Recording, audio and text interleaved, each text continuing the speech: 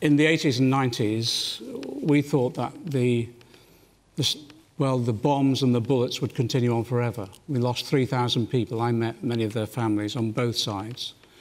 And in 2003, we were pushing for, we were trying to impress upon all sides that we should sign the peace process, the Good Friday Agreement. And at one point in time, it looked as though we were, we were going to lose the peace process. And one of the issues was that there was a potential for the Republican movement to split. And there were many that were arguing that they would continue what they described as the armed struggle. And I went out and argued for the peace process.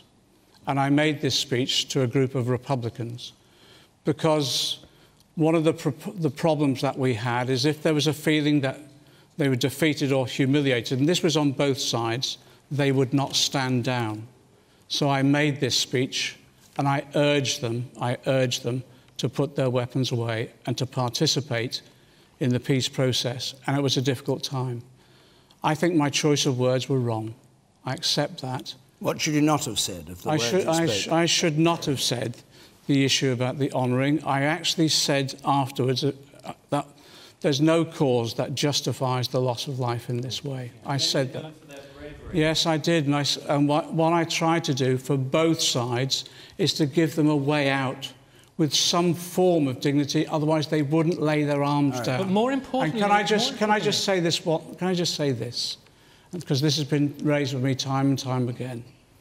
I accept it was a mistake to use those words, but actually, if it contributed towards saving one life or preventing someone else being maimed, it was worth doing because we did hold on to the peace process.